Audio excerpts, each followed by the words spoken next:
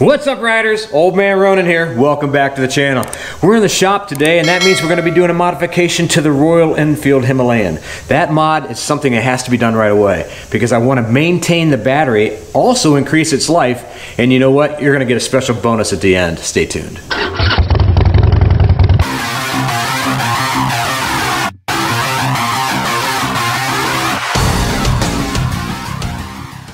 Join me as I wire up the Battery Tender Junior on my Royal Enfield Himalayan. It's a must mod.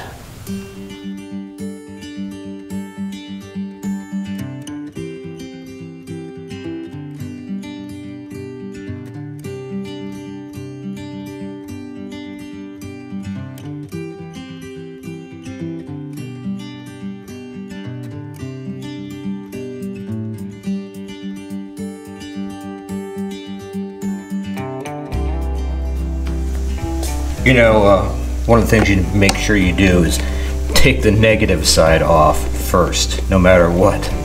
That way you don't arc across your uh, frame. That is off.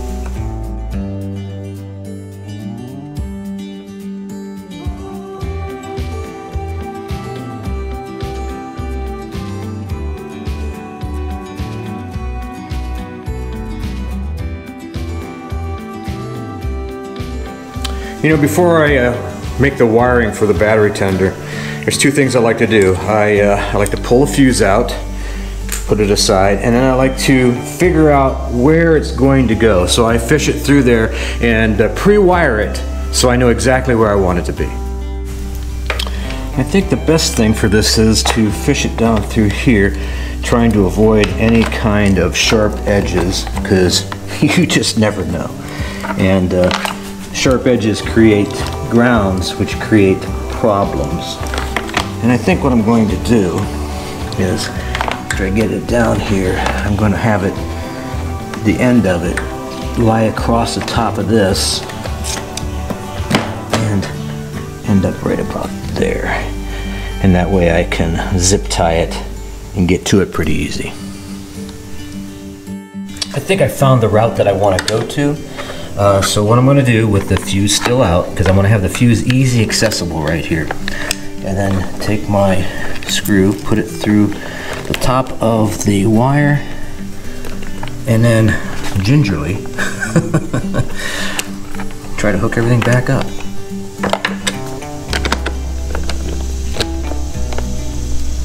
Make sure that's good and tight you know, like I said before, gluten tight. That way it doesn't have the opportunity to uh, loosen up when you're on the road. And check it periodically. Now for the other side.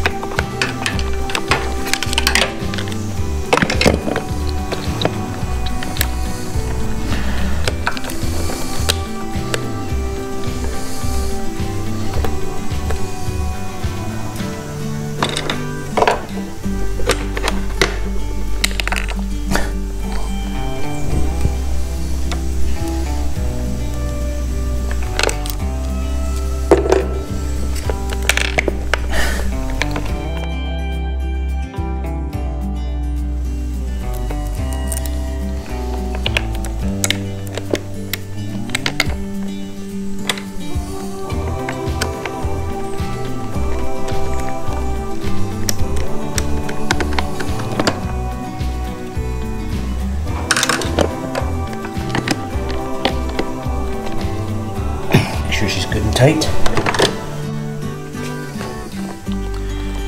And finish wiring it through your fuse back in. Button her up.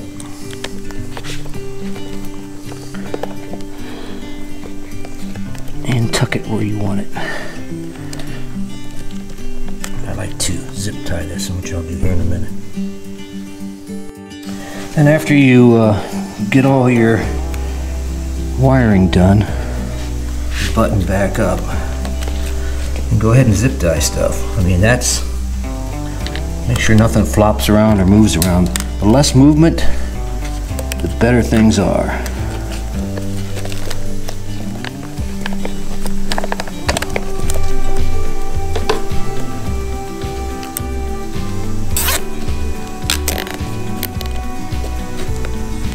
Make sure, make sure everything sharp edges is down too. Tighten it up. We'll go back and trim it. And like I said, we'll go in here and we'll zip tie everything securely so there's no flopping around, which is the enemy of motorcycles.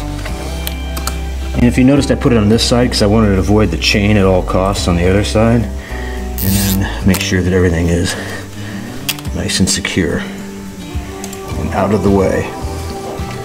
This uh, little piece right here will be wired, I think, I don't want to hit my foot, so I think I'm going to tie it to this nozzle right there.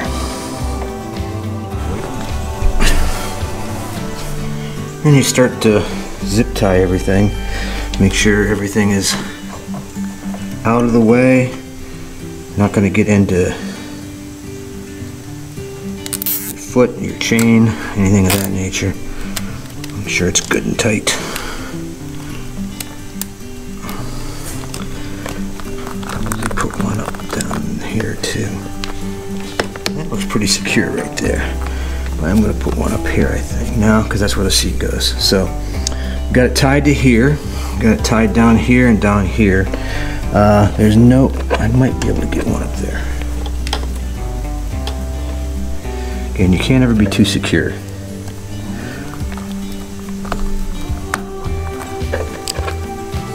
Just make sure everything is out of the way because you don't want to interfere with anything.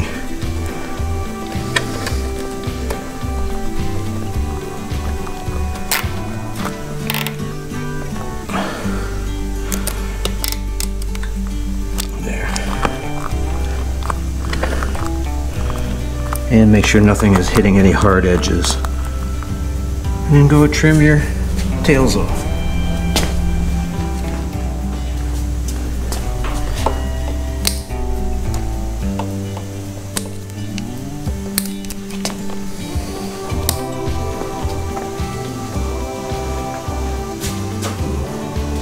And now we'll finish putting her up.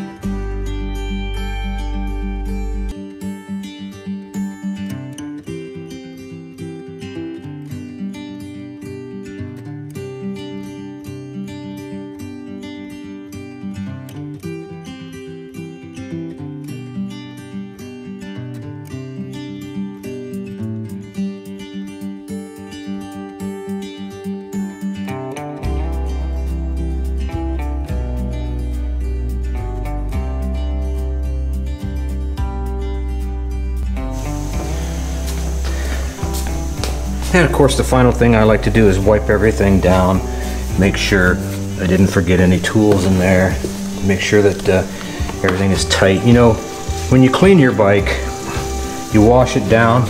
I know some guys on the internet don't like to wash their bikes, but when you wash your bike, you uh, you find things that are uh, not right. so wipe her down and put her back together.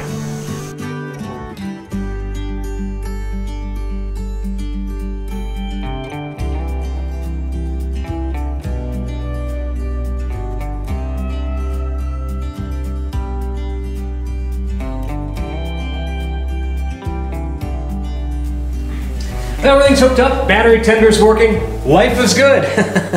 well, I really hope you enjoyed this video and this uh, modification series that we're doing to the Himalayan. Now, I wanted to make sure I did this one right away.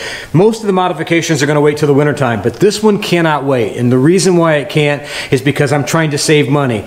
And I needed to have the battery in good shape because it's a two-year-old bike already and I doubt that it's had a battery tender on it or a trickle charger or a float charger on it from the day it came out of the factory. That's why I want to make sure it lasts at least until the uh, Transamerica Trail. Odds are I'll probably put a lithium style battery in there before I go on that trip because I want peak performance and more capacity in the whole nine yards. However, until that day, I want to save some money and that's why we did the battery tender. Plus the fact all my motorcycles have battery tenders on them. Uh, one of the most important things I can tell you is my Road King, which is a 2001, has a five and a half year old battery in it. And you know what? It's as strong as the day I put it in because of what? The battery tender. It's been able to keep and maintain that battery at peak performance. I'll tell you, it's well worth the money. And they're like 25 or 30 bucks, I think, on Amazon, or you can get them from your local store or whatever. Make sure you get yourself some kind of trickle float charger and maintain your battery. Now, I promised you a bonus, and this is it. This, when you buy your battery tender, pick up one of these battery tender USB ports. And this is really an important feature. Uh, the reason why is because it gives you an auxiliary place to plug in your phone, plug in your GPS unit, or plug in your uh, Cardo or Sena unit, anything like that, and gives you the ability to charge them. And if you already have them on your bikes, as far as having the uh, the uh, USB ports, they're usually keyed in. And when you turn your key off, you have no power to these uh, USB ports. This will give you direct access to it. That way, in case you have a problem along the road and you, let's say your battery's about ready to go dead and your key switch isn't working anymore, you can plug directly into your battery and charge your phone to get some help on the way. Well, I really hope you enjoyed this video today. If you did, give us a big thumbs up. Make sure you subscribe. Hit the bell notifications. Share, comment. You know, I read all the comments and comment all the comments.